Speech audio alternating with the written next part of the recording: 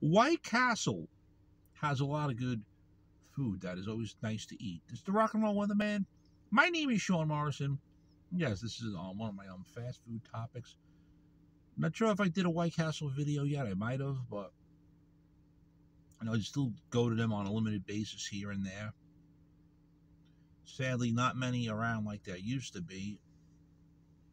In New Jersey, a few of them have closed within the last um year or so, and locally by me, at least one is um still in existence, and um it's the only one near me at the moment. If you're not subscribed to the Sean Morrison YouTube channel, please do so. Everyone else out there, subscribe. Thank you for the continued love, honor, and support. It's greatly appreciated. If you'd like to make a small donation to the Sean Morrison YouTube channel, kindly do so via Sean Morrison Enterprise via, via PayPal.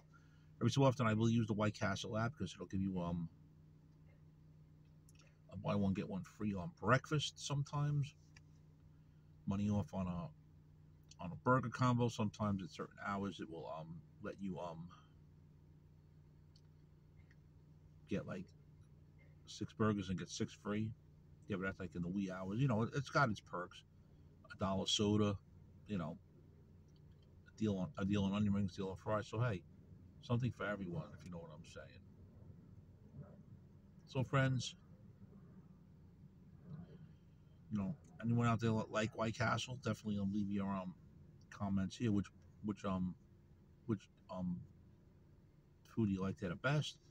Usually I just have the burger sliders for breakfast, the egg sliders, and every once in a while a fish slider. That's the favorites from um Mr. Morrison. And then, you know, people buy the um the White Castles in the case where you get like 20 or 30, 30 burgers for like about 20 something dollars or so.